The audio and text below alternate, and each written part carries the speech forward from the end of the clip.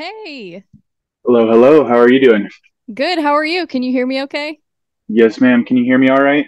I can. Perfect. We are in business. How's it going? Good, good. How are you doing? I'm good. Did you watch the fights last night? I haven't had a chance yet. I literally got a call from a friend who was like, "Hey, can you come help me? My toilet's broken." So I had to stop everything I was doing and go help him install a new toilet at his house, um, which is fine because it was a fight of the week or it was a fight pass, so I can just go back and rewatch it, which will be good. But um, I honestly kind of forgot about it, but I I mean, you can tell me what happened because it's not going to hurt my feelings. But I was thinking Chito. I was thinking Chito was going to take that fight, and I haven't looked to see what ended up happening. Oh, for real? Yeah, Yeah. I I only watched the end of the Holly Holm fight and then I watched the main event. So I didn't even watch the whole thing because I forgot about it too. Because I feel like sometimes they don't really like market the fight nights as much, even though it was a Yeah, great fight. Um, so I kind of forgot about. It. I'm like, oh yeah, there's fights on tonight. So when I got home, I was like, immediately turned it on. But yeah, Sandhagen actually won, and he he kind of dominated the fight, honestly. Um, what? yeah, so it went to decision. And there was a couple rounds that like you could probably say were close, but for the most part, I feel like Sandhagen pretty much dominated every round, in my opinion. And they Um, did. They did five. yep, They gave him. Che- oh man, yep, Chito's looked so good recently that I just yeah I didn't see that going to a decision. yeah. He well, he is impossible to finish. So I knew if Sandhagen was going to win, that he would probably win by decision. But I had a feeling like, oh, maybe Chito could pull off like a submission or a knockout or something like that because he does have some power and Yeah. his grappling is amazing. So I was Yeah. like, huh, that's crazy. Like I had a feeling Sandhagen was going to win. And I even said it on my podcast last time that I thought he's going to win. Dang. But I was like, I don't know. I love Chito though. So I'm, I'm like, I want both of them to win. Yeah. Who ended up winning the Holly Holm bout? Holly, Good for her. It's nice to see her still out there and kicking it. she's 41. She seemed, I mean, there was just that period of time where like it seemed like Ronda was literally she was like the female Conor McGregor, but without Yeah. the heel aspect. And then you she just comes in there and just straight right, or I don't even remember if it was a sh- a Was right or left. But it was a sh- oh, that's right. She got a head kicked. Yeah, yeah, it was a head kick.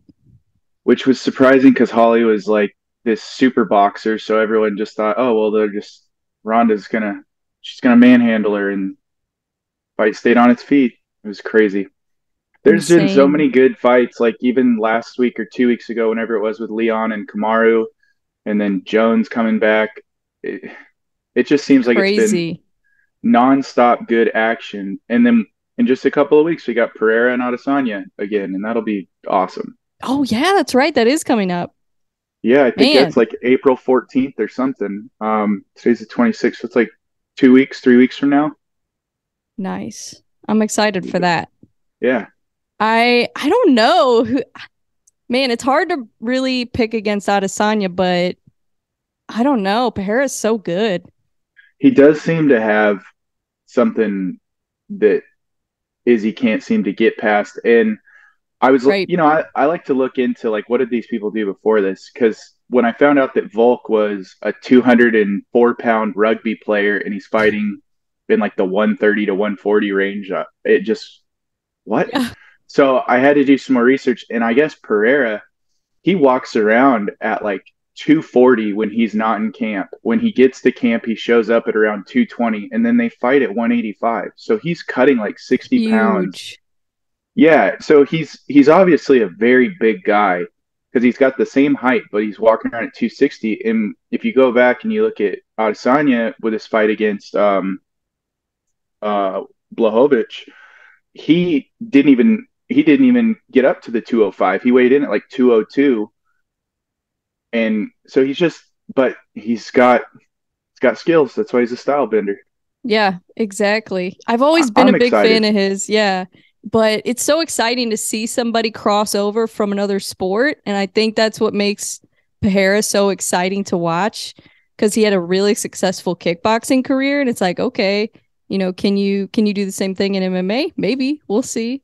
Yeah. Um, The one thing I don't know much about like his grappling skills. I mean, he's Brazilian, so I assume, you know, he's been training some jujitsu. But yeah. um, and I mean, if you're in Brazil, you can train with the best of the best.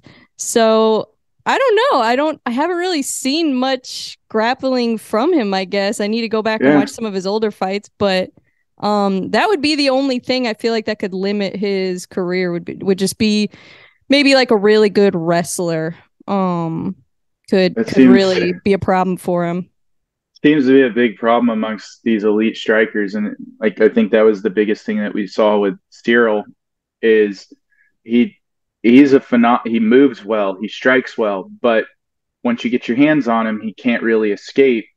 Yep. And when and Ngannou did it to him, and Jones now did it to him, and that's a that's a huge flaw. Um, so much of the UFC, like I can remember when I first started watching UFC back in like I was probably 12 or 13 years old watching some of my first fights and you're seeing people like Tito and uh, Shamrock and and Chuck and all these all these guys that are Hall of Famers essentially. It was a lot of just striking and then ground and pound, but it wasn't really jujitsu. And now you get too close to someone, they'll rip your arm out. So uh, it's completely changed the game. And I think I think Pereira is big enough that if he, I think he could do what Blachowicz did to Izzy, which is because he has the weight, he can weigh in at 185. He can put back on 15 to 20 pounds and then lay on Izzy if he had to. Yeah. And just, but we'll see. It, I mean, do you think that was an early stoppage in that fight? Because he looked pretty wobbled and his head kind of dropped. And yeah, I, I, I thought it was a fair enough stoppage.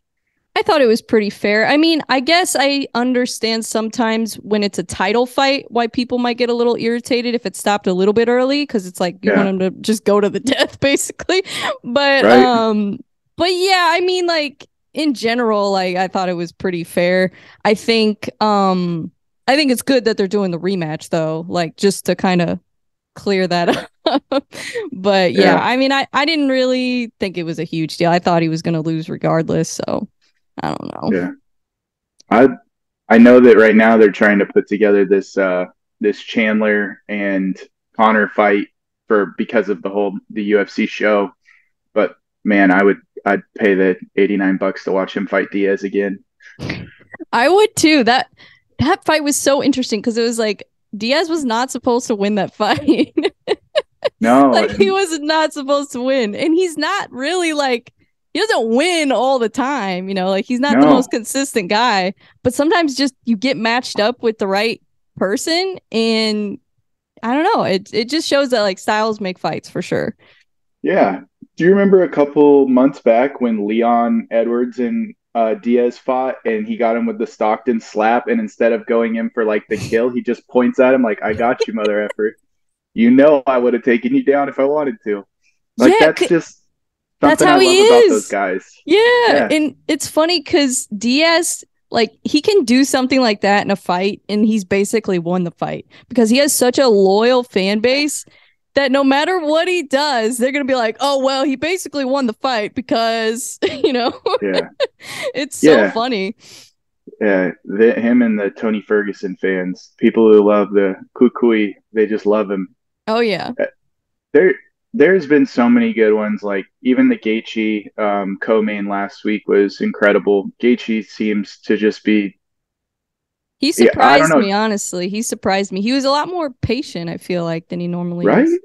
I think yeah. that that was big, especially like you know he had that Chandler fight where it was three rounds of hey we're gonna just kill each other for three rounds, and then the Oliveira fight, and you kind of look at it and you're like, man, how did how did that happen? But I don't know.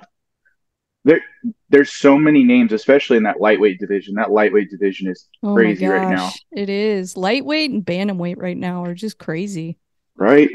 I've and everyone's kind of got their eye on that next weight class because they're all cutting. You got Aljamain talking about going up and fighting. Um, you got what's Makhachev talking about going and fighting 170. Leon. You got now Khamzat is saying he wants to fight at 185.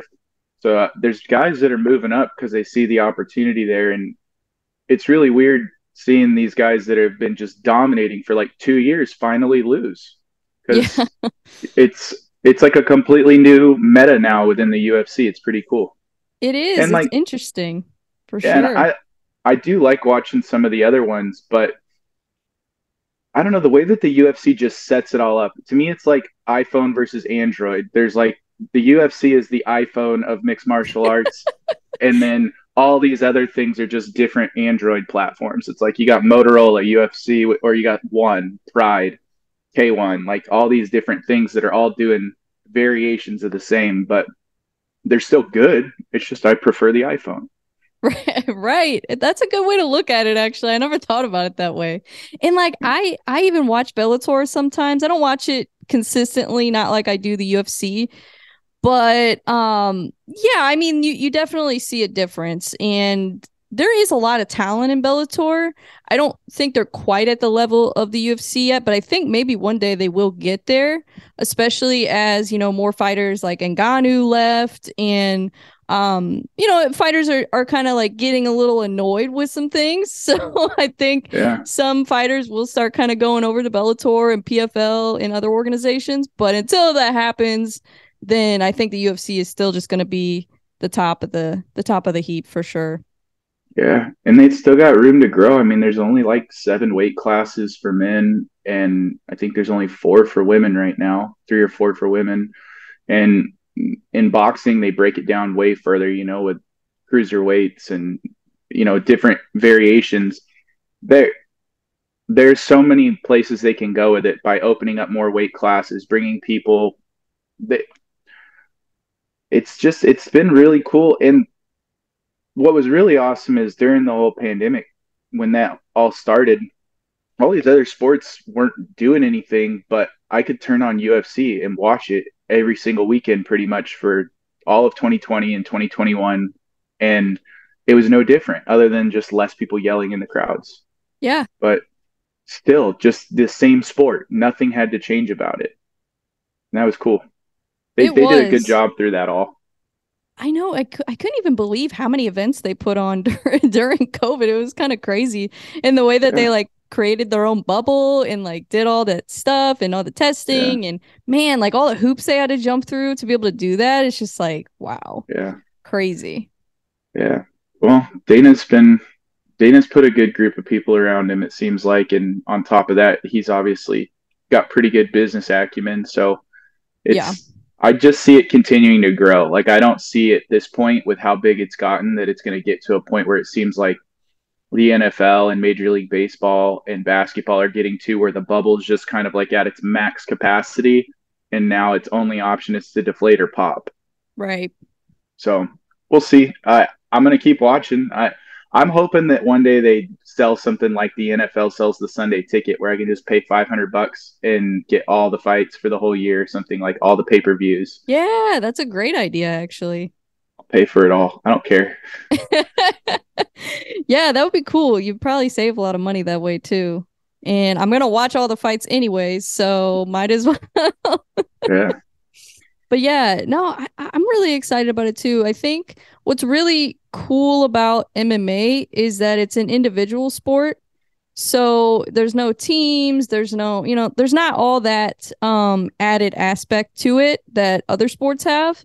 And it also kind of makes each fighter like has their own like brand in a way. And I think yeah. that's really cool. Uh, and they'll have their own styles and there's just so many possibilities because there's so many fighters and now that the women's MMA is growing and a lot of people are starting to get into training jujitsu and wrestlers are starting to come to MMA, it's really, yeah, it's really exciting. I'm yeah. I'm excited to see uh the wrestling uh kind of get more popular like wrestlers coming from like Penn State and and that and we've had a few yeah. in the past but it seems like more are starting to kind of look to MMA now. Well shoot, Bo Nickal looked like a future champion a couple weeks ago. I was impressed. Came in there.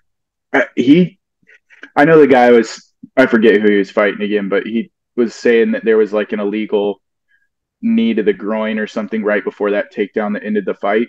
Yeah. And I went back and watched it. It did hit near the waist, but like he dom he manhandled that fight and he he's really good. I went back and watched some of his like events where he's wrestling Gordon, um, Gordon Ryan. For those of you who are listening, give him a Google. Uh, and he's beaten Gordon. So like, and I understand it's not like necessarily a belt event or something like that, but dude, Gordon is a huge guy, and yeah. he's and he's incredible jiu-jitsu. yeah, and he talks about it. He's he's all about Which it. Which is and, fine. I mean, he's not really breaking the rules. I don't think. Are there no. rules against that in ADCC? I don't think there are. I don't. I could be wrong, but well, I mean, there might be in the future if if more people came to it. he's pretty open about it. So if there was a rule, I think yeah, I don't think he would be competing if there was.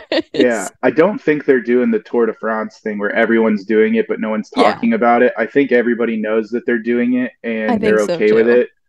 Cuz like what out of all the sports like yeah, you're going to get messed up getting kicked and punched and stuff, but jiu-jitsu you have like the highest likelihood of completely having almost like dismemberment. Your yep. ligaments, tendons, everything being torn a little bit of growth hormone, a little bit of testosterone that helps rebuild that muscle and and helps with it like mTOR, all that stuff is just going to be incredible for those guys. So if it lets them do it, they, right. and they all know why not. Yeah, well, and it's also a sport that you can compete in, you know, a little bit older too. Whereas MMA, yeah. you kind of once you get in your 40s, it's like, yeah, you're kind of done. But with jujitsu, I mean, you're not taking so much damage in, you know, getting punched in the face. So yeah. I feel like your career longevity, like there's more potential there too. Although a lot of, I feel like a lot of like the bigger guys, they do, you know, retire usually. Yeah. See, how old was Lovato? He he recently retired this year. I don't know how old he was. Got to be at least in his 40s. Yeah, I mean, but you hear in like people like are all over the internet now talking about they're doing jujitsu, they're doing jujitsu, and you see guys like Jocko, who's fifty something, fifty six, and he's still rolling around. Yeah. And him and all his buddies. You got Joey Diaz talking about doing jujitsu, and I'm like, dude, if Joey Diaz can do it, then anybody can do it. Um, and yeah, there's levels to it, but it's really it's it's that battle. I've been wanting to do jujitsu. I live far outside of a place where they have something that's like for adults. But I just found out that they're putting in a jujitsu place about 15 minutes from where I live. Nice. I'm thinking that might be good for for me with like rehab and stuff that is not like flexibility, but also just like a workout. So yeah, definitely. I'm, I'm fingers crossed that actually happens because if it does, I'm definitely going to sign up and get going on it. I did taekwondo Absolutely. when I was younger, but never never done that. That's a whole nother crazy. I took one jujitsu class and then and I was training boxing at the time too, like pretty regularly, like three, four days a week. And I took one jujitsu class and I was like, I'm gonna get addicted to this. So I'm not gonna I'm not gonna start this right now. I need more time. I was like, this will be my new personality for like the next year if I start this now. and I'm like, I don't need another obsession. I don't have time for this because I was about to open my insurance agency at the time. Oh, and nice. I was, which I just left, but, um, but at the time that was my focus was my career. So I was like, yeah, I don't know if I want to add another thing that I'm going to be obsessed with right now. But I'm like, I'm going to come back to this because I love this. This is cool. Yeah. This is different. This is not like anything else I've ever like done before with like fitness. So I'm like, one day I'm gonna start that chapter in my life. I'm like, sorry, right now I'm gonna focus on boxing right now. but yeah. uh I yeah. And then once I opened the agency, boxing went out the window because I was up to my ears. But uh yeah. but I want to get back into it. Like I hit the bag the other day and I'm like, man, I miss doing this. I really miss doing it. It's so fun and it's great cardio and it's just a good way to like get your stress out. oh yeah. That's a a super underestimated uh cardio activity is like kickboxing classes or even just boxing having someone a boxing trainer and just taking the classes and using it for your cardio. I hung a I hung a heavy bag in my basement and I'll go down there and I'll just try to do like two minute rounds and where you're bouncing on your toes, throwing jabs, I'm dead at the end of two minutes. Like if I'm actually putting anything behind a punch or a kick and trying to stay on my toes and bouncing, that's that's a rough two minutes. I might as well be I might as well be trying to run on the treadmill at like nine, ten miles an hour. How it feels. It really does. And it also like makes you really sore. like if you haven't yes. done it in a while and if you're really like throwing everything into your punches, then the next day you're like, oh my goodness, like your arms are sore, your back is sore, your legs are sore. Yeah. like, oh my goodness. Yeah. But it's so fun. So what yeah. what uh so you hit the heavy bag once in a while. What what does your training routine look like?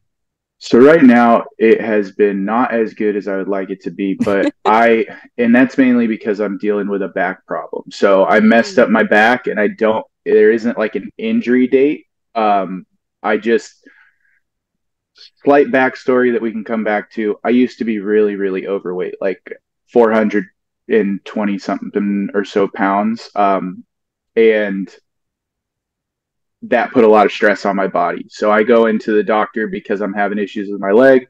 Turns out I've got like degenerative issues in my back. So I'm getting injections and doing traction, and it's cut back on my working out from seven days a week to like three days a week right now, just to be careful. But I I built an entire gym in my basement. So I oh, have oh, a nice. full yeah. So I built a full gym down there.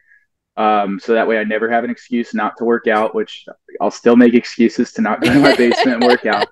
But I like I, I do like traditional bodybuilding type lifting, and the reason is is those people are the professional football players of weightlifting. Like yep. they are whether you whether you envy that body style or not, they are the most efficient and effective fat loss and muscle growth people in the entire world. So I studied them I bought like Arnold's Encyclopedia Bodybuilding.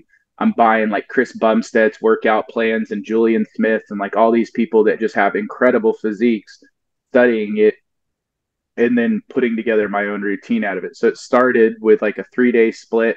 And then usually every two to three weeks, I try to add in a new day and just refine it down further and further. So eventually I try to get to like a single body part for 30 to 40 minutes at a time um, so like it might start with chest and light shoulders and eventually just get to chest and just shoulders where I'm putting in hundreds of reps just in the, that one area, getting every part of it worked. Because to me, that's like the best.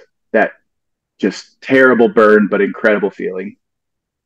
Interesting. Yeah, I I love getting a good pump. That is like the best feeling. And I feel like I've kind of like changed my style over time, kind of as I've evolved.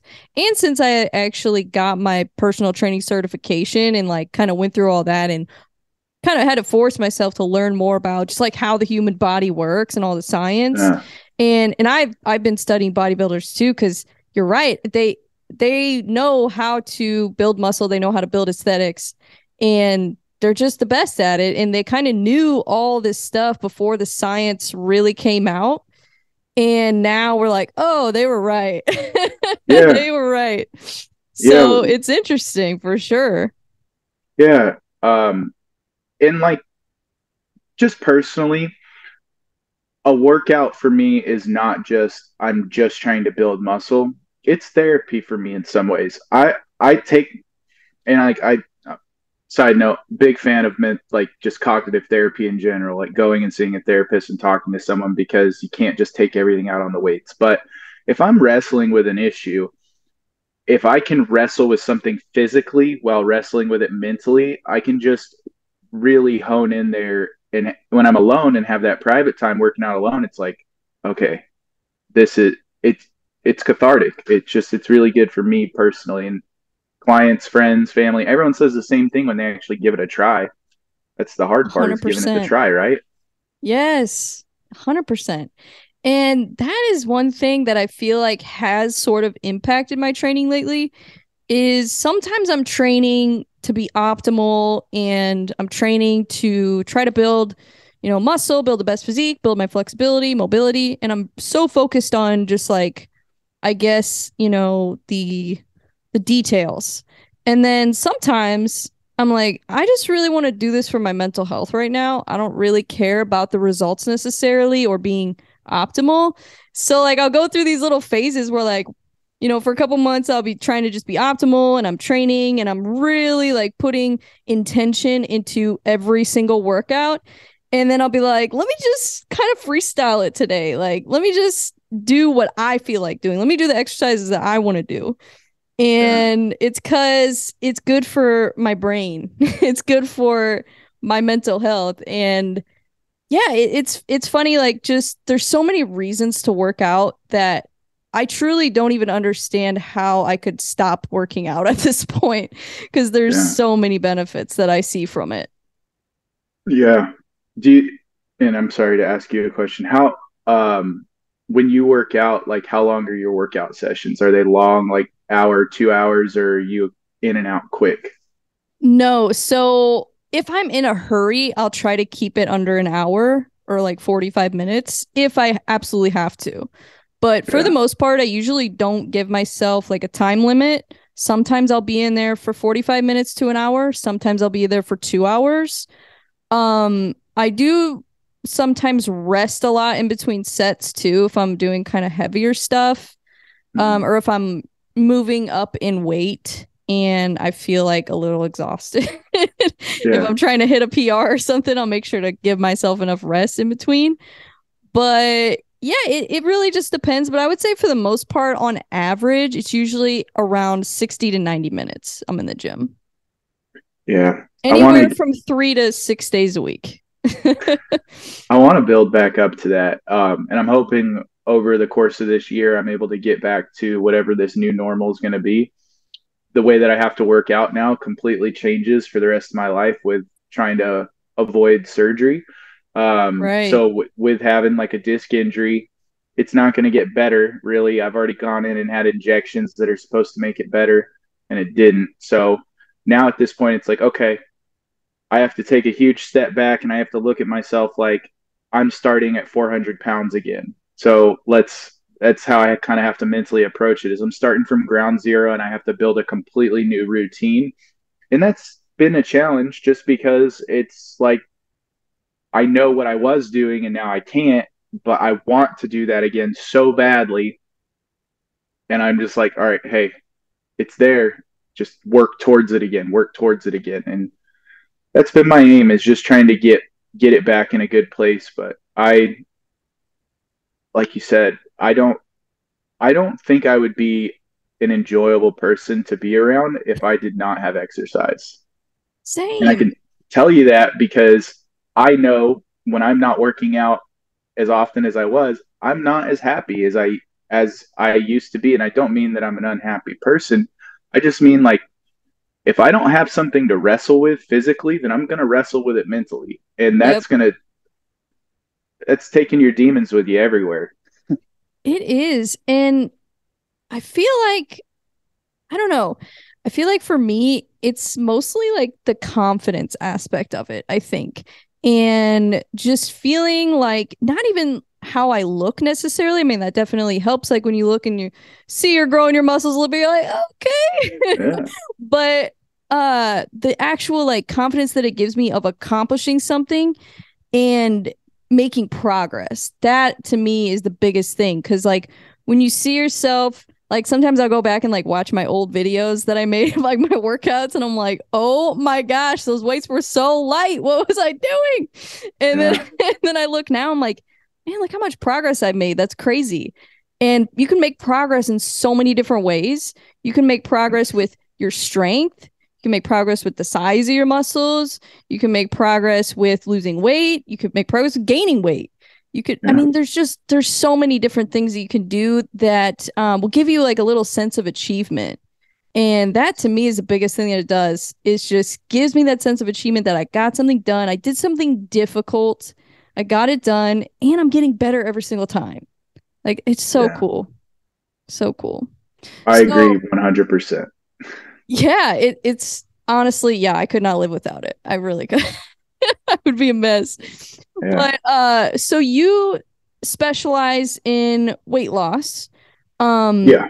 And are you doing nutrition and fitness? Are you doing just nutrition? Are you doing how do you, how do you kind of go about that? Yeah. So I work on three different areas. Habit, lifestyle, I kind of group into one thing. Um, fitness is the other side, and I just call it exercise and activity. Um, because a lot of people are just so inactive that you just got to start by like, hey, let's just not sit down for it for six to eight hours a day. Why don't we just have an every hour on the hour activity just to get you up and moving to start? So, and then nutritionally, um, I focus a lot of what I do because now here's the thing. I preface everything that people are going to hear in this by understand this first. I work with people who specifically need to lose 50 plus pounds of weight because it's a completely different strategy. If you're 50 yes. plus pounds overweight, like one, you can lose weight a lot faster. And two, there's probably some other stuff going on in your life that got you up to being 50 plus pounds overweight because like it's not 20 30 pounds you get up 20 30 pounds you can just do like a slow cut but if you're 50 plus pounds overweight we really gotta we gotta approach some aspect of this semi aggressively to get you back in check. So for me i did things that were way too aggressive. Um, and i say that only because if i were to try to ask a client to do that it would their failure rate would be a thousand to one. Um, but I I center a lot of my nutrition around fasting, and because I'm working with men, it's it's more of I'm trying to teach them discipline and discipline through fasting, um, specifically like telling telling yourself no in a world that like has so many yeses available to you. Like if you can learn to be in control of your own body then all the things that are not in your control outside of you seem insignificant. So everything kind of ties in together. The habit lifestyle choices the nutrition choices the exercise choices and it's all based on like a progressive overload system of we're going to we're going to slowly ramp this up over a 6 month period and try to build you a lifestyle that then after 6 months that you've built that lifestyle is hopefully maintainable. Um and then if you fall off the wagon well you just start back at ground one and at, at this first step and you work your way through it again when I started everything, it was all about how can I teach somebody to be their own personal trainer so they never have to hire someone. So you hire me one time, I give you everything that you need. I essentially turn you into your own personal trainer. I educate you literally on kinesiology. I educate you on nutrition. I educate you on how to do your own research, what websites are good, what websites are bad. Try to put the best resources available in your hands and then send you on your way and hope that you're able to um, to keep replicating it. I don't want someone glued to me. That means I did a bad job. That's super interesting. So, I actually really like that approach to it because I think a lot of people want that. I think a lot of people want to know how to do it themselves. Um, like I, I'm kind of one of those people. Like I've never I mean I've had like handful of trainers in like group settings, but I've never like had like a personal trainer because I was like, oh, I can't afford that. I, I just always thought it was like the most expensive thing ever for some reason until I actually like got into it. I'm like, oh, it's really not that much.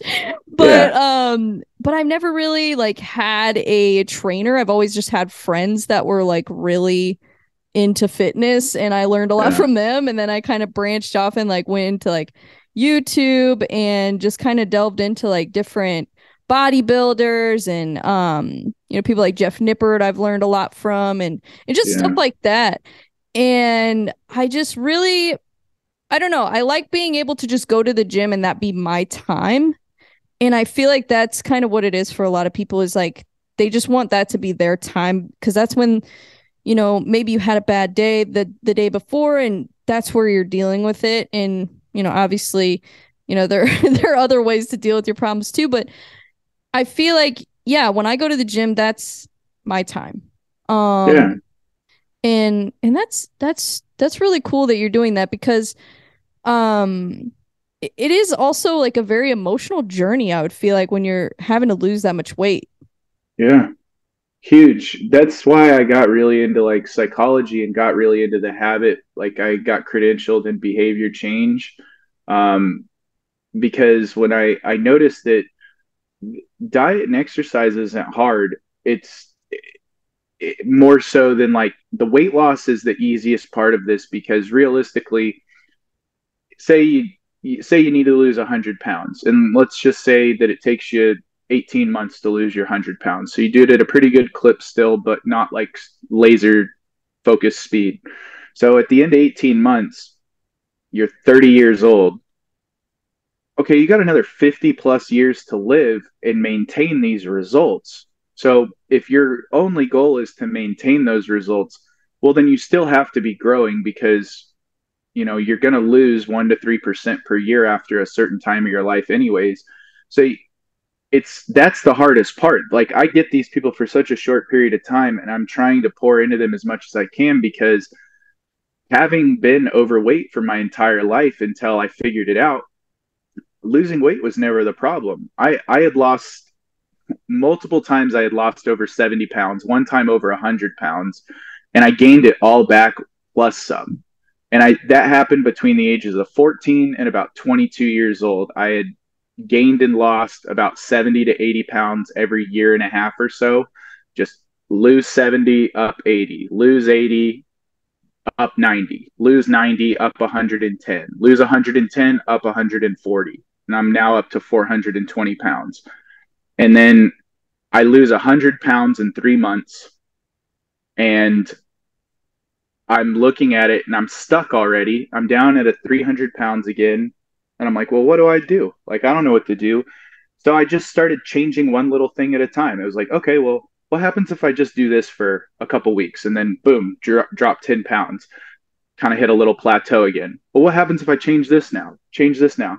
And that's what I'm trying to get through to people is like this this concept of like it's not like you need to overhaul the whole thing, but you could just have one area that's out of balance and just it's all about just trying to keep all the keep it all together and headed in the same direction and not let something shoot off in the wrong place because that's really when we go back to those old habits. And especially it's so easy. Like it's so much easier for me to stop by Casey's and grab a donut than to like not grab a donut I know that sounds weird, but if I got to walk in there to grab a monster or something because I'm on, you know, driving driving to wherever, and I want to stop and get a monster, and that donut case is calling me, I feel that call still. Like I, it's not like it goes away. So I have to have strategies in place to avoid things like that.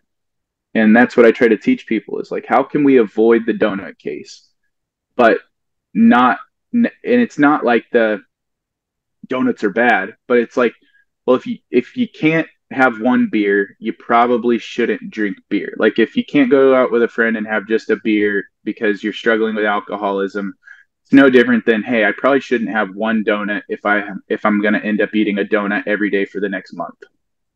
Right. 100%. It's always those little changes and I love yeah. what you said earlier about just kind of starting from somewhere, you know, not starting off with going you know, seven days a week and doing two hours of cardio and like all this crazy stuff like some people try to do, like especially like New Year's resolution. You see people, oh, I'm gonna go to the gym every single day, you know, for seven days a week, and I'm gonna do two yeah. works two workouts a day. And I'm like, what? I'm like, you're not even yeah. doing anything right now. How you gonna do that? Yeah. So it, it it is good to take that approach to just start small. Like when I got back into my because I I got sick with lupus um Oh, that was dang. January January of 2020 was when I uh, got diagnosed, and after that, I wanted to get back into working out because I'm like maybe that'll help a little bit with you know what I'm yeah. dealing with, and now that I'm on medication, I feel like I have the energy that I could at least go to the gym because at at that time I I was pretty much at home all the time if I wasn't at work. I was just at home. and a lot of times yeah. I would work from home because I couldn't, you know, I wasn't well enough to go to work. But um it got to the point where I was like, yeah, I just want to go to the gym. Like I don't even need to work out. Like let me just go there and that's step 1. Like just yeah. walk in just walk into the place and look around and that's it. And and what I did was I got on the treadmill and I went I think 10 minutes and then I left and I'm like, well, hey, I did something. You know, it's right. better than nothing. Yeah. Um, and then one thing led to another, and over time, I got back into my routine. And then, I mean, I look at back then versus now, like how much progress I made. It's insane. So Yeah. it's good to start small. It, it's hard because you're like, I want to see the results right now, but you got to remind yourself that you're not going to see the results if you try to rush the results. The results might Yeah. come, but then you might get injured, you might get sick, or you might get off track, you might get out of your routine. So it's always better to just slowly build those habits and you know, make make little changes that are manageable. Yeah. Um, I agree 100%. And like, there's a, what I've learned is there's a tipping point for people. So someone has to see enough progress that it motivates them enough to show up the next day. And then eventually you don't need motivation because you built discipline. Your motivation disappears. And I'm just, I'm now just doing this because it's part of my life. It's a discipline that I have. But if you do too much, you're going to see insane results and the risk of burnout on the back end is there. If you don't do enough because you're just, well, I'm just testing the waters, I'm just dipping my toe in, well, then you're not going to see the results that you want. And then you're going to go back to doing the old thing. So you have to find this nice little place in the middle where it's like, I'm pushing myself up to the edge, but not over it. And I'm also seeing the results that I want to see, but like it's sustainable results and that is a hard place to find and that's where like that's where i try to come in and help clients is like let's find that happy medium of like moderately aggressive so i can give you the aggressive plan if you want it i'll give you a plan that you'll lose a crap ton of weight super fast but unless you're this is where it's hard because it's like I did something, but I'm telling my clients, sorry, I don't think you're capable of doing this. And it's not because like I'm trying to be mean, but it's like, hey, don't eat for the next 60 days, liquids only. I thought I was addicted to food. So that's why I did that. So I didn't eat for 60 days and just drink fruit juice because I said, well, if I was trying to kick drugs, I would need to stay away from drugs.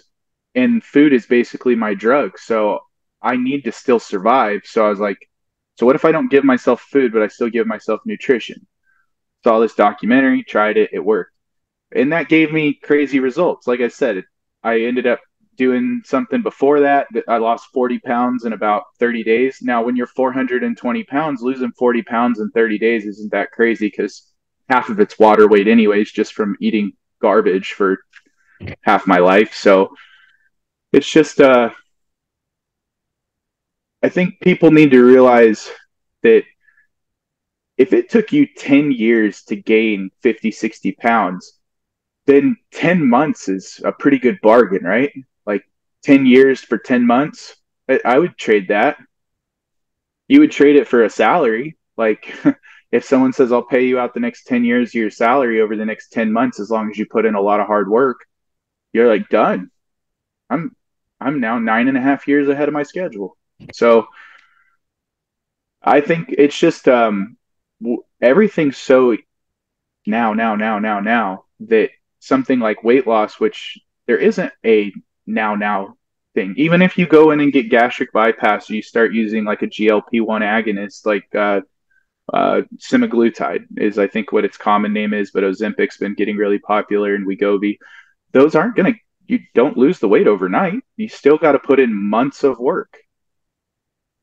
Uh, Yeah. and it's it makes me sad because I think people quit on themselves before they even get started. Um, and I did that, so I know it and I can see it. You know, a fisherman always spots a fisherman from afar, and when I see somebody who's struggling with it, I'm, I'm like, if I could just really get in your head for about five minutes and change a little wiring here, I think you'd be good. Yeah, it I'm really glad to hear you say that too cuz there is so much of the marketing in weight loss that is directed to that where it's like do it fast, do it now. And I really would like to see more of what you're talking about of like hey, this is actually going to get you the results that will last with you for a lifetime, not just right now and then you go back to your old ways and then you got to do it all over again. Because that's Yeah. really what happens a lot of times with people. And and i'm not necessarily an expert on weight loss especially not to like over 50 pounds. Um so it's not really like my expertise. I'm more of like building muscle kind of you know, getting toned if you will Yeah, but um but it it's so interesting to me just like hearing you talk about that and then versus like a lot of the marketing that I see on it and especially on YouTube, like if you look up weight loss on YouTube, it's all like right now in 60 days and 30 days in one week. And I'm like, one week? what are you talking yeah. about? like you're not gonna change your life in a week. But yeah. um yeah, I just it makes me happy that there are people like you that are doing it the right way uh and spreading the right information out there.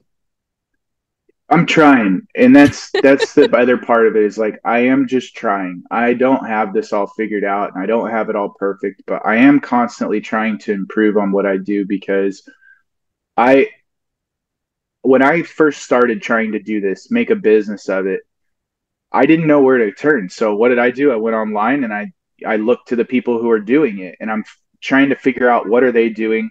Then I hire a coach to help me, and me and this coach don't see it eye to eye because everything for him is a dollar sign. So all he cares about is the dollar sign, dollar sign, dollar sign. And I talked to him and I'm just like, hey, I don't care if I make money if I'm not giving my clients results. Like, and I don't think people understand that, like, when you have 50 plus pounds to lose, it's like having like a, it's like having a compound fracture in your leg and they're going to have to cut you open and they're going to have to damage tissue to get through to that bone so that they can then fuse it back together and then basically glue that all you know sew it all back together. And it's like you sometimes have to unravel parts of your life and do some damage to areas of your life in order to fix them. And that's a really hard concept for people to grasp is that it's going to get worse before it gets better. It's not like okay i started working out cured. No like you're going to put yourself through hell for a couple of weeks while this while you're fighting your body's and your brain's response of like hey we're we don't like this. And getting past that hump is incredibly difficult but when you hire someone like online you should hopefully be able to trust that they're going to give you that and you're not just a dollar sign to them and that's been a huge focus of like what i've tried to do is I just need to make enough money to pay my bills and I need you to lose weight, but I can't want it more than you want it. So I need I need to somehow reach you of like I need you to want this real bad.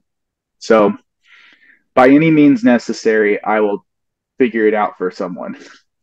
100%. And I think that is kind of what separates um good coaches from average coaches is finding out the why and helping people actually dig deep and find out like why do you want to lose the weight? You know, what is really driving you? Because if their drive and their motivation behind it isn't strong enough, then the likelihood that they're going to adhere to it and actually want to put in the effort is a lot lower. So finding finding out what is the driving force behind it is so important and I feel like that's what a lot of coaches maybe miss sometimes and they're just so focused on the money that they're not focusing on actually getting to the client's pain points and i just i see a lot of that sometimes um and there's a lot of great coaches out there but there's certainly oh, yeah. a lot of bad ones too like every industry yeah. But uh it's just yeah it sometimes is frustrating to see the focus being so much on the money and i see that a lot and I even see it too with like I don't know if you see this, you probably do because you're in the space. But it's like there's so many fitness coach coaches. You know what I'm talking yeah. about? Like where I hired one. I fell victim to it too. like cost me uh cost me twenty six thousand dollars. Yeah, they're gonna coach you on how to be a coach. But it seems like there's more fitness coach coaches than actual coaches. I'm like, how is this possible? Yeah, um, there's quite a few in the space, right? And it's because everyone wants to tell you how to make money. Everyone's got their strategy on how you how you make money in this space, and it's like, how about we learn how to affect people in a positive way first before yeah. we go try to make money? Like, I I never wanted to do this at all. Like, and that's why it's really challenging at times because I quit my job at a law firm and like I had just taken the LSAT and I was applying to law schools and I'm going down this path and then I lose 184 pounds And I'm thinking to myself, the whole reason I wanted to go to law school was to help people. Like I can help people with things if I know the law. And if I I can if I know the law, I can help people get what they need legally, whatever whatever it be. Like I was interested in all areas of law, but that then went by the wayside when I realized like this is much more important what happened to me. The change that happened with me is way more important. And if i can help people with this this is a way higher calling to my life than legal crap. Like i don't want to help you get money for your car accident if i can help you fix your life like your actual life. So when i see people that are like and part of it is being in Facebook groups that are like associated with personal trainers and I see what they talk about and I see what they're interested in. It breaks my heart a little bit because the way I see them talk about their clients at times, and I'm not saying this to disparage them, but more of if you're a personal trainer out there and you're watching this, your client is more important than your paycheck. You work for them. Like they don't, you know, you work for them. And if it's not working, find something that works for them. Don't just be like, oh, well, you're not following the program. Why aren't they following the program? What's going on in their life? And no one asks the why. And that's something you said that it, the why is the biggest part. Like when you had lupus, lupus is an autoimmune disorder that attacks your joints, correct? Yeah, it attacks everything. Um, but the everything. joint pain is probably I would say the fatigue is like the number one symptom, and then joint pain's like right there, number two. Yeah. Um, at least some, in my experience. One of the weird uh, side note, I found out that like they use black widow venom in some of the treatments for lupus. Some people really? like yeah, like they've synthesized what? some chemical that's from black widow venom in lupus. Maybe I'm wrong. It could be a different autoimmune disorder, but I'll have to look it up. Um, but when you when you are experiencing fatigue and you're experiencing joint pain, Western medicine says face value problem, face value solution. Let's take some Tylenol. Let's take some NSAIDs. Um, why don't you, you know, quit eating gluten Steroids. in the morning? Yeah, let's let's put you on methotrexate. Let's let's put you on these crazy things and let's solve the face value problem. But that then doesn't work. And then the doctor finally asks why. And it's like why should be our first thing? Why why is she experiencing joint pain? She's a young girl. She works out. She's fit. She doesn't eat like crap. So why why does she have all this joint pain and fatigue? Well let's run some blood tests. Let's ask why right away. People don't ask the why. And then they're stuck in this pattern for months and months and months. And that just creates a whole nother problem up top because then you think you're unfixable you think it's not solvable. 100%. And it. It really does. And I feel like there is uh maybe more of a need for um people who know how to deal with people who have maybe more obstacles than your average person. Uh like for you, you're dealing with people who they need to lose a lot of weight. You know, they're very overweight.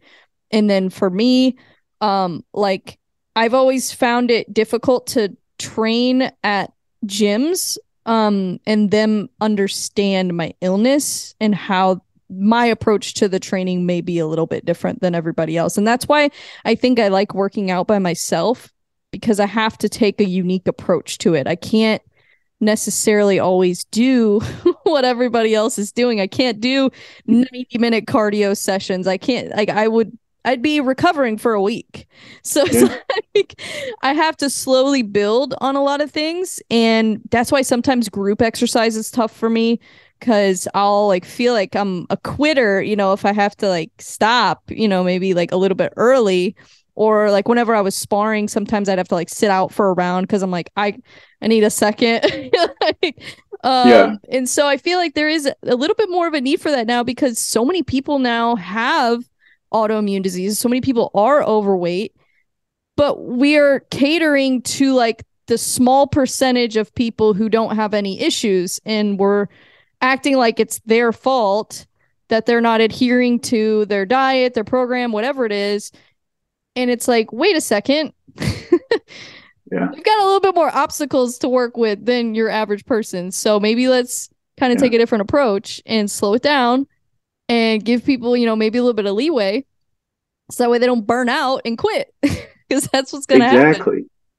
Yeah, like if if you hired a personal trainer and they put you on Trainerize and they put all your workouts on there and you're going through them and then you miss a day and maybe you miss another day and a few, you know, over the 3 month period you end up missing like 25% of the workouts and they told you, well, if you just do what I tell you to do, you'll get these results. and at the end you're nowhere near it. And then they start pointing the finger back at you like well you missed all your workouts. You missed 25% of this. You didn't do your cardio on these days. And it's like yeah i have lupus. I have bad days. Right. you didn't care to ask you know and you didn't care to help me. Because what they're trying to teach a lot of personal trainers is sell one program sell one program for one type of person. And i get that.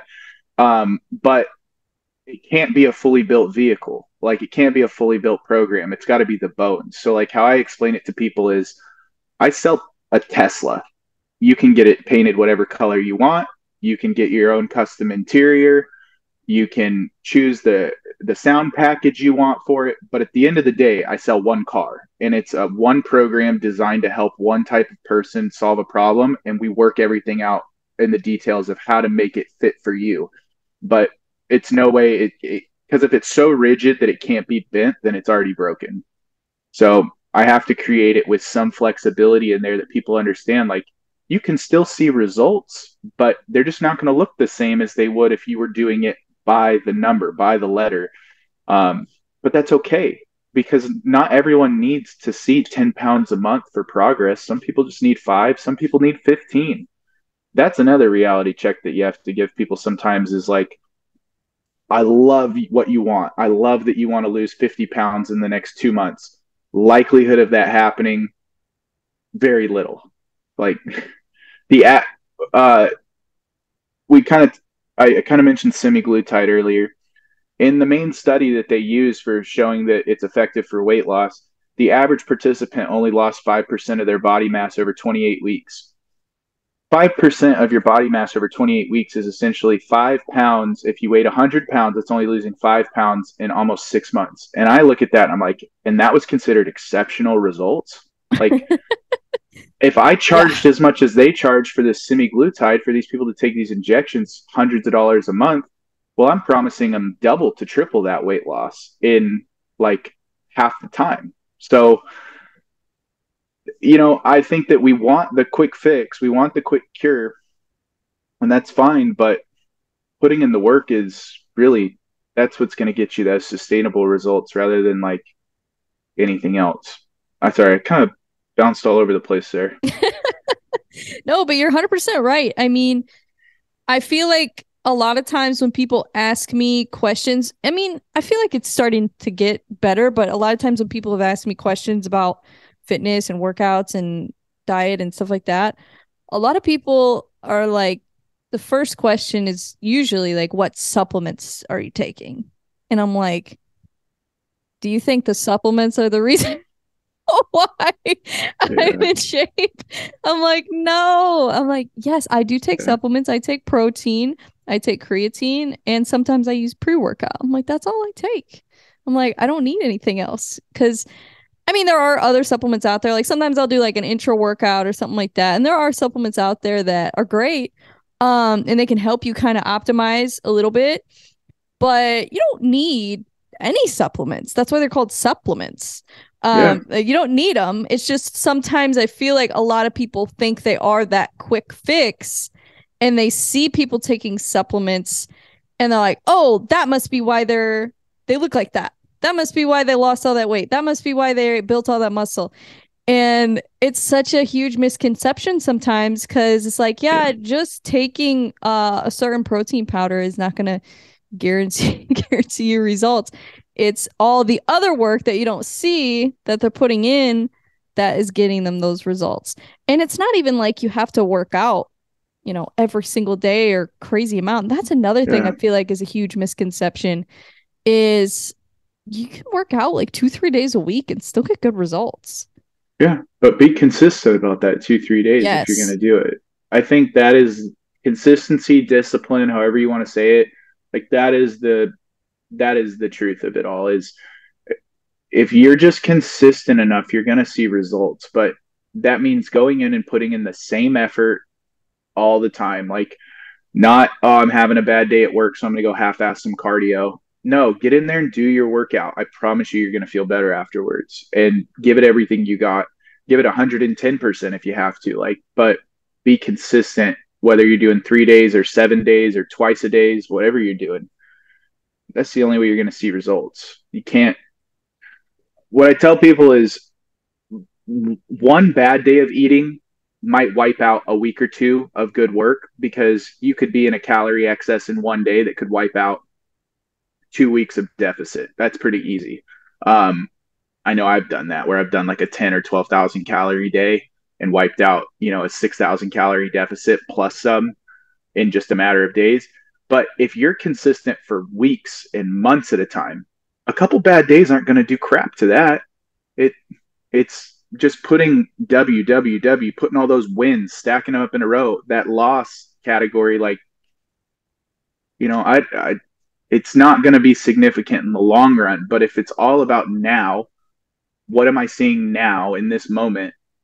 Well, you're never going to get to the end. And if it's all about the end, well, you're never going to be able to take the first step because you can't see what's right in front of you. So it's that's kind of that balance of like have the idea, but focus on the first step and if you're so focused on the first step that you can't see the, you know, you're missing the forest for the tree, then like that's where having someone like a counselor, therapy, or a friend that knows what they're doing is really, or even hiring a coach and paying someone to be accountable with you is like really important because we're we're social creatures. We need people, and it's best to go talk to someone who you would trade places with. You know, like that I envy that person's life. I'm going to go ask them for advice. Envy isn't always a bad thing, by the way. I don't mean it like envy to the point of jealousy. I just mean it right. like you look at someone and you go, that I would trade places with them at face value. Well, then ask them for advice and then you do some research on the advice they gave you. Don't just instantly go, okay, I'm doing this. Right. 100%. Yeah, that's important too. And I feel like as a coach, it is important to be kind of practicing what you preach a little bit. I mean, obviously, you don't have to be doing the same programs you're giving your clients because your clients have different needs than you do. But the fact that, you know, you're you're still putting in the work with your nutrition, you're being consistent with your fitness and even just like your your mental as well and just having a good mindset about it and um it's going to be hard for your clients to stay positive if you're not even staying positive with yourself in your own journey. So I think yeah, that that's another thing too is like kind of leading from the front and showing um showing people an example that they can look yeah. to and and say, "Okay, well, this person did it and they have, you know, the life, the physique, whatever it is that I want." So, if I kind of allow them to coach me and give me some advice, then maybe I will get a similar result. You're not gonna get the same results because everybody's yeah. body is different. everybody is different, but you might get similar results and you might actually sometimes figure out that maybe that isn't what you wanted. Maybe you want something else. And sometimes that happens a lot too. Like when I was younger, um, and I think a lot of women experience this when they're in their teenage years, but like I always wanted to be skinny. Like I was obsessed with like just being skinny. Like I wanted to be under a hundred pounds. Like it was like wow. always like, and I'm pretty small. I'm only five one. So for me, like, I, I, mean, I was pretty skinny when I was like around 95. I think was the lowest I ever got. Uh, I was pretty skinny, but I wasn't yeah. like I didn't look like unhealthy or anything. But I didn't feel healthy, and I didn't feel confident even when I was that light. I guess you could say. And I was yeah. pretty young. I was like 15, 16 when I was that light. Um, and I was also on ADHD medication, which makes it really easy to lose weight. yeah. Um, not in a healthy way, but it does make you lose weight. So I feel like it kind of almost gave me a little bit of like a body dysmorphia of no matter how skinny I got, I never felt like I was skinnier than the girl on TV or the girl in my class or whatever it is. And I was always comparing myself. And it wasn't until probably a few years ago that I really got confident with my body and how not even just how I look, but also how I feel. And it was when I started to gain weight that I got that confidence because I was gaining muscle and I just kind of felt more energy. I felt healthier. And I was like, oh, maybe I was too skinny before. And I just didn't realize it because I thought you had to be that skinny. I thought that was what the goal was, you know, for every woman to be skinny. And I don't know. I think that change was really insightful for me because I think that happens to a lot of people. Like I've talked to other women who they started off wanting to lose weight. They do all this cardio. That you know they do the whole thing, yeah. and I did the whole thing. I all I did was cardio for like years until a few years ago is when I really started weightlifting. And I'll talk to these women. They're like, "Yeah, I thought I wanted to lose weight, but then I started weight training, and now I actually like want to get bigger." Yeah. it's so cool to see that and see more women like lifting weights and doing like bodybuilding style workouts because you realize that you're not going to get bulky or whatever you want to call it. Like you're not going to yeah. look like too masculine or whatever everybody says. You're not going to look like that just from lifting weights. Like the people that have that appearance, I guess you could say, like female bodybuilders, like they're taking things to look like that. So a good amount of them are on some some some sauce. yeah. It's actually kind of crazy like I never really thought about females with like the um PEDs and steroids and stuff like that. I never really it just never really was a thing until like now yeah. female bodybuilding started to get more popular and I just never really put two and two together. And then I just kind of realized like, oh my gosh, there's a lot of women that are taking stuff yeah. now. And and I don't really have an opinion on it necessarily because I don't feel like I I'm qualified enough to really even talk about PEDs. Yeah. I kind of know more about it on like the MMA side just from watching MMA. Yeah. But it is interesting how that is changing, just kind of what images we're seeing. And there's so many different body types, but there's so many, um, so many dangers sometimes with the internet and body dysmorphia. And mm even just with yourself, even without the internet, like it's yeah. still like you look in the mirror sometimes you're just like, eh. Like I even still have like every once in a while I have a day where I look in the mirror, I'm like, I'm like, eh, I don't know. I have this little fat here or this here. Like, you know, I pick myself yeah. apart sometimes. And I feel like sometimes the internet is really good in a way where we are promoting other body types and we're not saying like, oh, you have to look like this like everybody's different everybody has you know their own um journey and their own body type and whatever but sometimes i see things and it's like okay are we really promoting this right now. Like are we really yeah. trying to push this on people that you have to look like this or that um i don't know. It i feel like it's getting better and it's getting worse at the same time. And i don't know how that is but it's definitely something that um, used to be a real struggle for me and i think can be a real struggle for a lot of people if they don't um, have a good relationship with their body image and um, yeah. if they get sucked into all that it, it can be hard to dig yourself out of it. Absolutely. And it's you you hit the nail on the head there. I think it was uh Theodore Roosevelt said that you know comparison is the thief of joy. You it's so hard to enjoy the progress you're making if you're always comparing it to somebody else or what somebody else has. Like your your perfectly running car does not seem as great as your neighbor's Maserati. Well, yeah, it's not, but why? Like why does that matter? And it's one thing that I've I've learned is that people people including myself like when we don't have a story that is our story, we will go and follow someone else's story. Like we'll go and try to make that story our story. And one thing I start with with all my clients is I make them almost do like a vision board, but not really a vision board. I just ask them to imagine if they actually got to write their life story. How does it end? What are they doing? Where are they going? What people are they hanging out with? What do they look like? What do they feel like?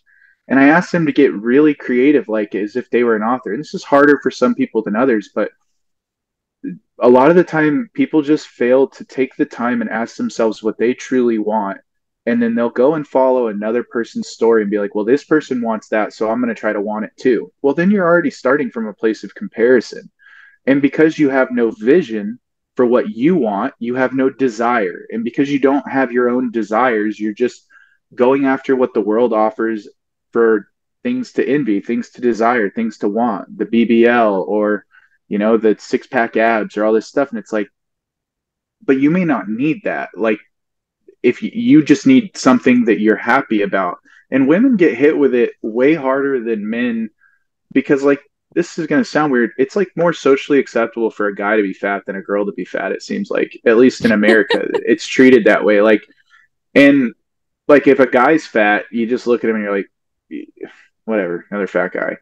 Um, but like if a girl's fat it's like well like it's like she's crucified for it and yeah. You know, there's a lot of other things that go into that too that I've learned, especially with my wife and her just having a kid. Like when women get pregnant, it's like the equivalent of a guy going on steroids for months, like nine and a half months. It's like you are just injecting yourself with 250 milligrams of test every three days. That's like what's happening with these women. Their bodies are going on crazy levels of hormones in order to produce this life, and then everything shuts down so it's like having no post cycle therapy either after being on this crazy high level of testosterone as a guy. And like they're just expected to bounce back. On top of that, like women's hormone levels directly affect all of their natural cycles. Like too much fat shuts off, you know, too much leptin in the blood can cause PCOS type stuff. Also, too little leptin in the blood shuts off the menstrual cycle completely. So then it's all this of like this internalization of like imagery. You know i don't look the way that you know i want to look. And it's like well why do you want to look that way? You know what do you actually want? And for men it's it's more it comes down to less in their physical appearance and more to how they feel about themselves as a man you know? Um like do i feel like a man do i feel like i'm capable of protecting and providing for my family and even if you're not a married man at the end of the day, that's still subconsciously more than likely driving a lot of the actions is that preparation of a family or that pursuit of a family, um, that pursuit of protection and provision for somebody. And I would really just challenge all of my clients and anyone listening to this, like if you're if you're struggling with like getting something going, making a change, maybe go back to the drawing board and figure out just like what you were saying, is this really what I want? or is this just something that I, has been shown to me and modeled to me that I'm going after because, well, that's what I've seen? Like, what do you actually want? And then work backwards from there. Like, how do I get there step by step? Like, with that vision in mind, how can I just take a little step every day that gets me closer to that? That's, um, a big part of that is feeling that you deserve it. So, like, you have the desire for change, but you have to believe that you deserve it. And that people have gotten themselves, and I know I did for such a long time, get myself to a point where because I disappointed myself for so long, I don't feel like I deserve it anymore. I don't deserve to be happy. Like, I don't deserve to lose the weight. And it's like, but you do. Like, you're no different than me, and I deserve it. So if I deserve it, you deserve it. There's nothing that you could have done that you don't deserve to be happy. Um, outside of like committing some heinous crime. Don't you don't deserve to be happy, heinous crime committers. But hundred percent. I I just really want people to understand their value, and I think a lot of it comes back to like figuring out who you want to be because that's why you're valuable, not because you have a great ass or because you have flat abs. Like that doesn't make you great. The person underneath that, and figuring out that deep desire of like if that's what you want like if you want to if your big dream is to go to the beach when you're 60 and have a bunch of guys staring at you or a bunch of girls staring at you then yeah by all means keep chasing it. But more than likely you have something you want more than just good looks. Absolutely. Absolutely. And for me like even when i started i was just trying to get healthy again. Like i mean when i originally started working out i just felt like I should probably work out a little bit just, you know, to make sure I don't like die. just make sure I, like, you know, do something or like just try a little bit. You know, I didn't do much, but I would like run Yeah. every every other day or whatever it was. But the last time that I kind of like got back into my routine after the lupus thing, um, it was because I wanted to get my health back on track. And then as a result of that, as a byproduct, was the aesthetic part of it. And I'm like, oh, I look better now. Cool. But that wasn't what I was really concerned about from the beginning. I was Yeah. concerned about my health and and just kind of trying to get rid of a lot of that joint pain by strengthening my muscles and just strengthening my body in general. I'm like, well, if I'm stronger, I'll probably have less pain and be less likely to get injured and things like that. And so that was really my goal. And then everything else is just, yeah, it's a it's a byproduct. And you have to focus on those more long-term things, I feel like, in order to make real progress. Because if you just focus on, oh, I want to get a big butt or oh, I want to get abs, if you just focus on that, once you get there, the motivation is just going to be gone. And then you're not going to be able to maintain it. Um, or you're just not going to be motivated enough in general because looks really isn't enough to motivate you to be consistent in the gym three to five to seven days a week or whatever it is. It's not enough to motivate you a lot of times. Yeah. Plus, by the time you get that big juicy booty, anyways, it might be out of style again. You know, the Kardashians might not be around, and we're going back to pancake butts. 100%.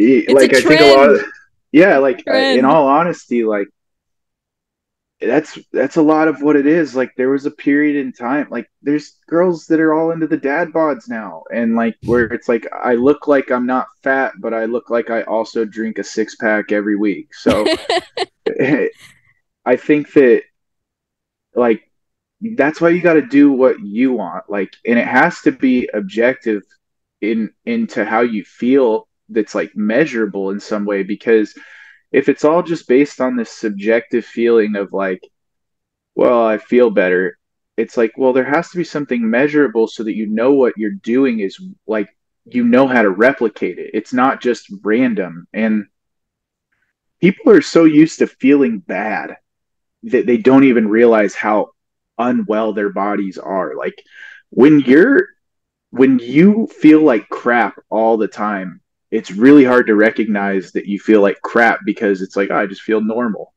But as soon as you start doing something about it, you feel worse for a few days. You know, like you don't eat breakfast seven seven days a week, but as soon as you tell yourself you're doing intermittent fasting, you're hungry at 9 a.m. Um, so it's like it doesn't make any sense, but it's because it's gonna your brain now knows it's part of the game and it's it gets a little bit off, but you're so used to feeling bad that it's like you won't let yourself feel better. And that that is something that really bums me out um, because I fell into it for so long. It's like I wouldn't allow myself to feel better, and that's where I see a lot of other people. It's like they won't allow themselves to forgive themselves for how they got there and be able to move forward and be like, yeah, I got myself to a really bad place, but I deserve to feel better and I want to feel better. And doing it for you, not because you think someone's going to like you more or you're going to have a better chance of like meeting a chick at the club or, you know, finding a husband, whatever it's, it is. Um, it's just hard. It's, it's hard. People, we're complicated creatures and there's a lot that goes into it more than just someone's fat or someone's skinny and they want to gain weight or lose weight respectively like it still comes back to that why 100%. even as we sit here all i'm thinking is the whys Exactly. And and finding the why is so important and sometimes it's hard. Um but it, it's it's definitely you have to. Otherwise it's going to be really hard for you to to get yourself up in the morning and go to the gym and you know do all the right things and not get not order the pizza and all that stuff. It it makes it a lot more difficult when you don't have a strong why. So I'm glad I'm glad we talked about that. Um Yeah. we'll wrap this up here soon, but yeah um I want to ask you a couple questions before you go. absolutely Um nothing like it's not a test. Uh Well, what is even if your it is getting my google ready what is your favorite, I guess, one of your favorite exercises to do? Not like workouts, but like one of your favorite exercises. Um, I personally love the hack squat machine, and I like specifically using it in the reverse, like Instagram chick butt influencer way, where you you go forward into it and you do like the straight leg deadlifts with the hip hinge. For me, I do not get a better workout than doing that exercise, and I legitimately love it. Um, I also really, really enjoy um, shoulder laterals because it is the worst burn to the point where it's like I would rather someone cut my arms off so than than keep going. And I I like those type of things that are like miserable workouts because I, they they're always the most rewarding. The most miserable workouts are always most rewarding for me. And those two shoulder laterals and the reverse straight leg deadlift on the hack squat, I guess you could say. Just think Instagram influencer. Um, those are my favorites. I love that. Yeah, lateral raises. Oh my god, that's like my favorite part of a workout is if I have lateral raises at the end and like those last few reps and I just get the best pump and then you look in the mirror your shoulders are all you know, oh, yeah. pumped up and you're like yes. You just yeah. feel so good. And you don't even have to use that much weight. Like you. I I get a burn just from doing uh 10 pounds. Um, I get a um, crazy burn for 10 pounds and I'm yeah. six foot five like and I'm like it's still a good workout. 100% okay and ever, then my next uh, go real ahead. quick do you ever do like a like a complete burnout with the laterals where you'll like start it like maybe like a 12 and you'll go down from 12 to 10 to 8 to 5 to whatever and you just basically go till you can't even lift? That's my favorite. That the that best. right there is the shoulder lateral burnout number one. 100% yeah. I, I actually have been doing a little bit more of that lately with like kind of doing i guess like more of like a drop set. And mm. and going from like 10 and then I'll do fives at the end because by that 10s I can't even lift up. I'm, I'm gonna go to fives. So I'm like let's go let's go. And then those last few reps I'm just like oh my gosh. Hopefully I can lift my arm to be able to grab my steering wheel to get out of here. Yeah seriously. Okay so my next question is who is your favorite MMA fighter? Doesn't have to be UFC but it probably will be. I'm guessing. you know, this is where it gets hard because I like a lot of people for different reasons. Same. Like, as far as who I think is the most exciting fighter right now in the UFC and one of my favorite people to watch, I love watching Alexander Volkanovski because he he's like the white mighty mouse. And I miss Demetrious Johnson being in the UFC. He was a great one to watch. But at the same time, I will never not pay and never not tune in for a Jon Jones fight because the story is too big with him. Like he's had so many issues off of out of the octagon that I understand he's a very polarizing person, but his only loss was a disqualification based on a stupid rule, like a 12 to 6 yeah. elbow. It, it, that fight should have been stopped three minutes prior to him dropping that elbow when he had the guy in top mount and just beat the piss out of him for five minutes.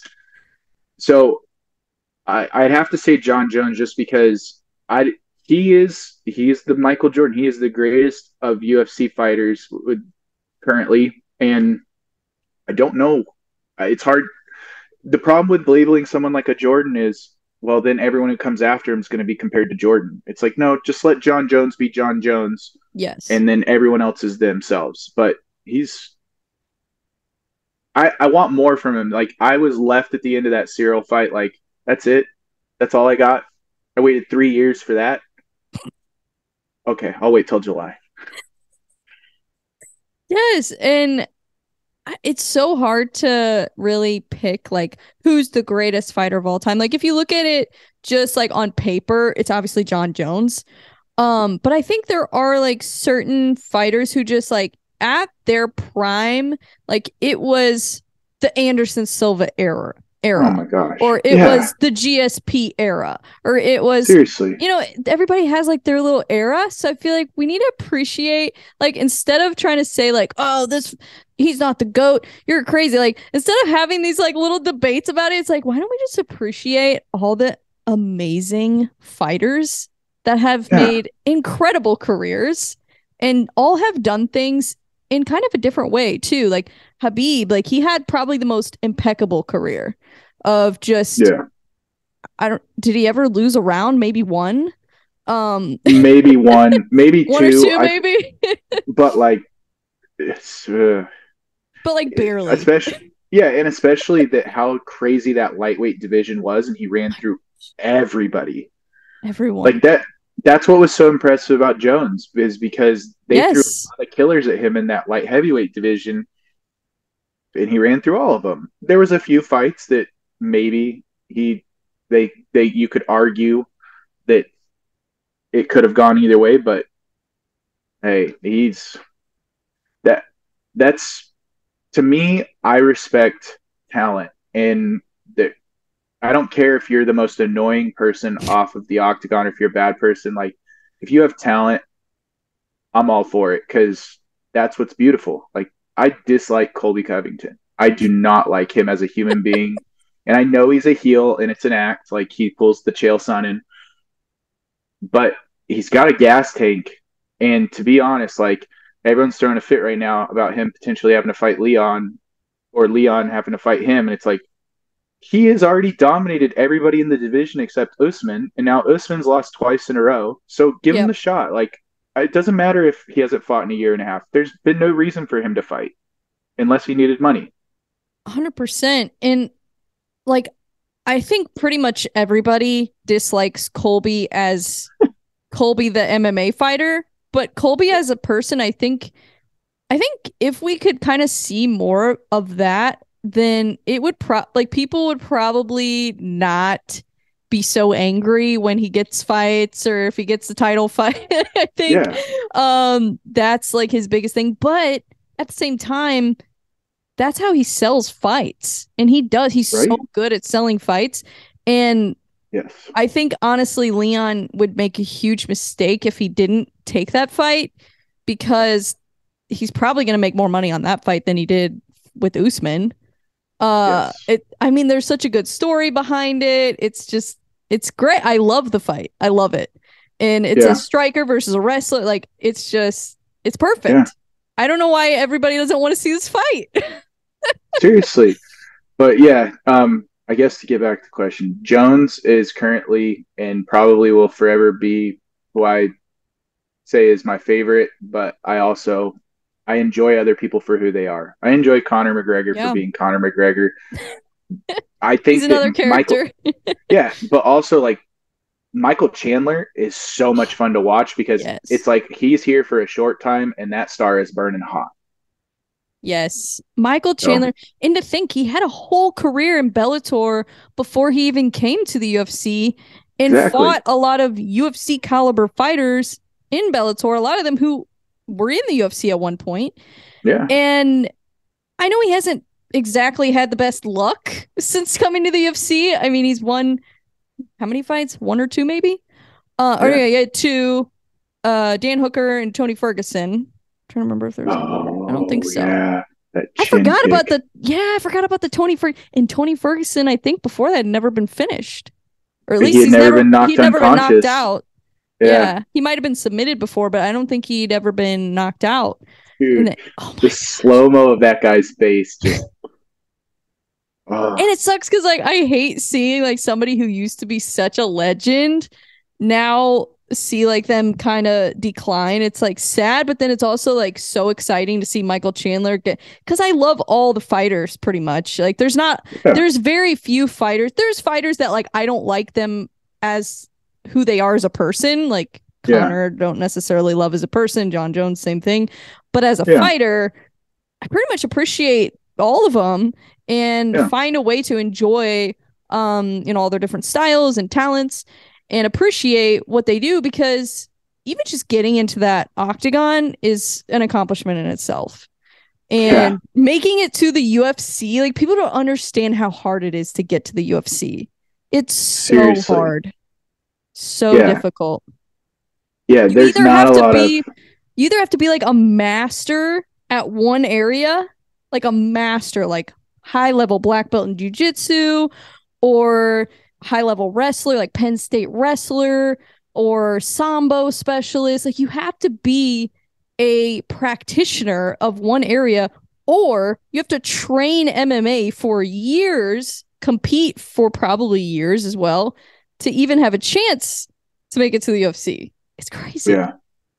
Yeah. You see these people come into the UFC with a 17 and 2 record. It's like, well, this guy's already had 19 professional fights just to get into the UFC. Yeah. Like that's 19 times going out and risking somebody completely embarrassing you and you still show up and do it. Like Yep. That's why the UFC is a beautiful thing. All that everything disappears when people step into the octagon and it's just two guys out there battling and that's what's and then at the end I love I love the sportsmanship. I love the crap talk too. But Yeah. I also love that in UFC two guys who hate each other can go up to each other for the most part after the fight and be like, "All right, you whip my ass. I'll I'll give you the nod." Like that was impressive. or if it's like a really close fight too just like that respect uh is so cool to see because i i think it is an interesting thing like um sometimes when i sparred if i had like a really good sparring session with somebody that i um sparred with more regularly then i feel like at the end like we would probably like give each other a hug or like just be like fist bump like yeah that was good yeah. so I I, mean, I can't imagine the feeling of like Joanna versus uh Weili. Like after that fight, I can't imagine just the feeling of like, damn, we really, we really went after each other for for five rounds. Seriously. We left everything in that octagon. It's Yeah. it's insane. It, I have so much respect for fighters and even even just cutting weight. Like it's Ugh. it's just the whole thing is so difficult and uncomfortable and there's so many variables to it so many aspects like Yes. not only are they a fighter but they're also they got to market themselves they got to do interviews they got to Yeah. um build up hype they got to i mean there's so many things that they have to keep in mind and that they have to do and i think that's why i appreciate even fighters that maybe a lot of people don't like or don't think are very good because i'm like but even still they're pretty good like Yeah. and they're in the ufc so Yeah. yeah, definitely. They're very man. talented. Hundred percent, so much talent.